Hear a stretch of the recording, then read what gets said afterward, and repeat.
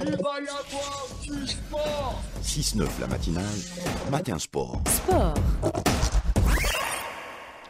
Mamadou Bol, bonjour. Bonjour. Et on commence par euh, cette euh, réunion rencontre président de club fédération. On le disait hier, président de la fédération qui actuellement eh bien, rencontre l'ensemble des acteurs. Parmi les acteurs, il y a le monde du football professionnel, entre guillemets, les présidents de club.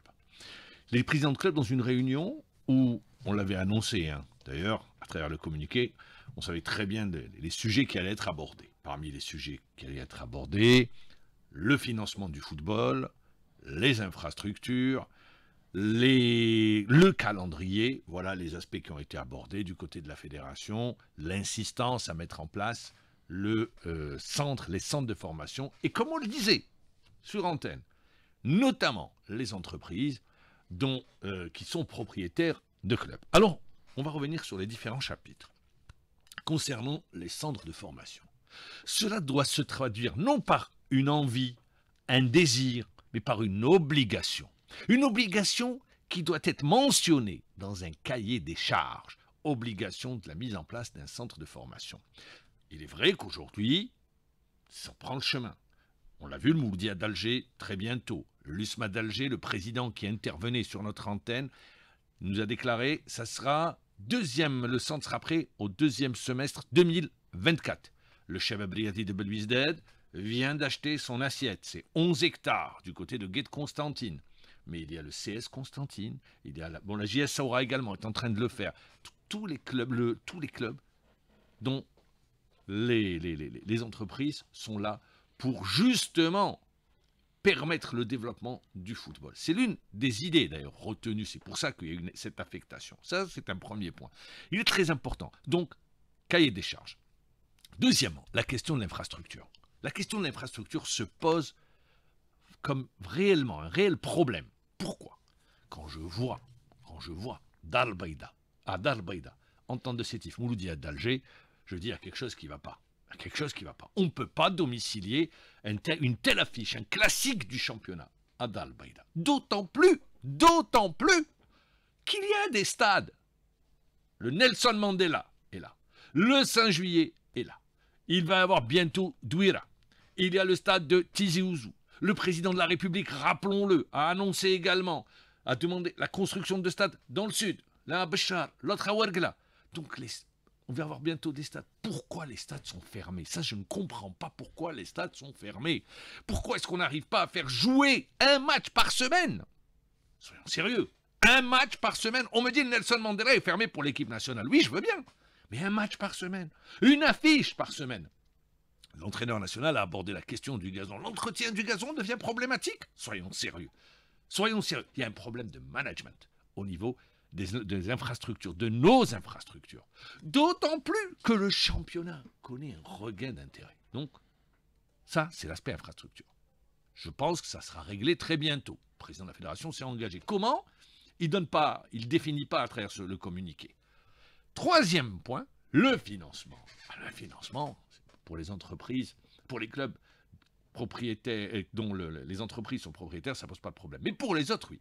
Donc, il doit y avoir un cahier des charges également à ce niveau-là. L'argent, où vous trouvez l'argent dans le monde du foot? Ah, C'est très simple, je vous donne tout de suite la réponse.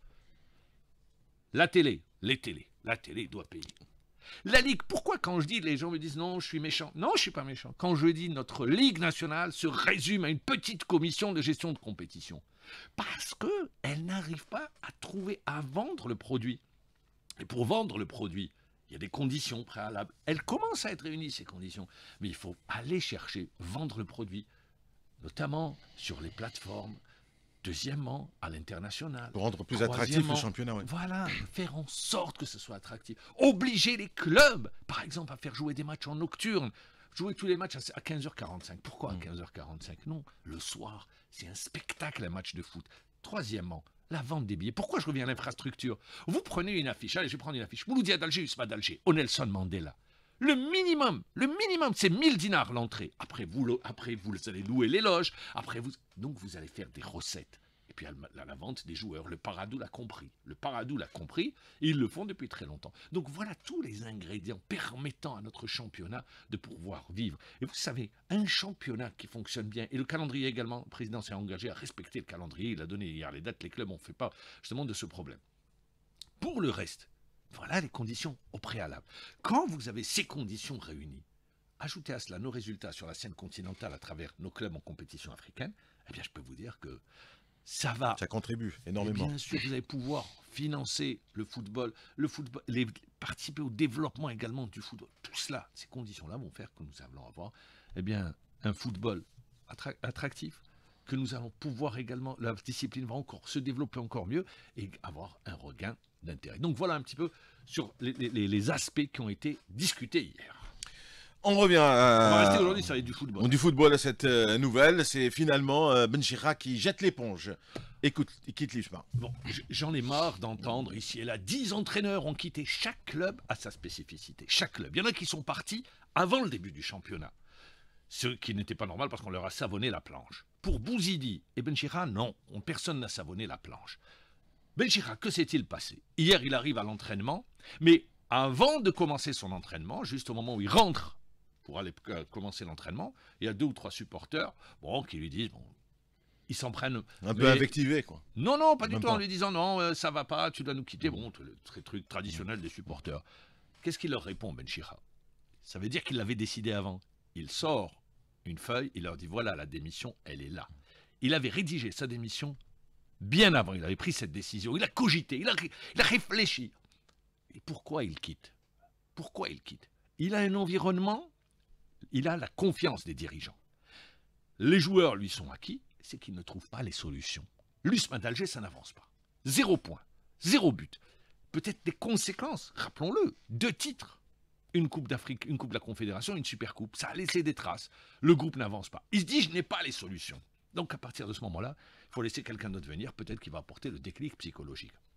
Je peux même vous rajouter que le PDG du groupe Serport s'est rendu au domicile de Abdelhak Ben pour euh, faire en sorte qu'il revienne sur sa décision.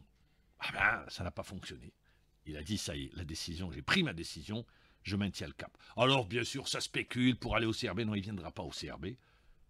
Il veut plus entraîner en Algérie pour le moment, il veut prendre du recul. Donc voilà, concernant Abdelhak Menchira, c'est une décision qu'il a mûrement réfléchie, et c'est pour cela, parce qu'il n'y a pas de solution, ça joue mal à l'USMA d'Alger actuellement, ça n'avance pas, eh bien, peut-être il dit, il vaut mieux aujourd'hui C'est honnête. Que plus tard. Mais plus c'est rien à donner, voilà. mais il s'est regardé dans un miroir et il, Ouais. voilà, c'est comme s'il se regardait dans un miroir. Il se dit bon, c'est c'est pas possible.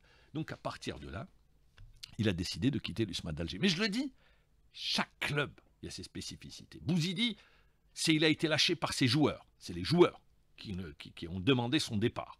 Après, je peux continuer comme ça à citer club par club. C'est pour ça que je dis bon, c'est vrai. Par contre, il n'y a aucune stabilité. Vous savez que aujourd'hui, nous sommes au dixième entraîneur.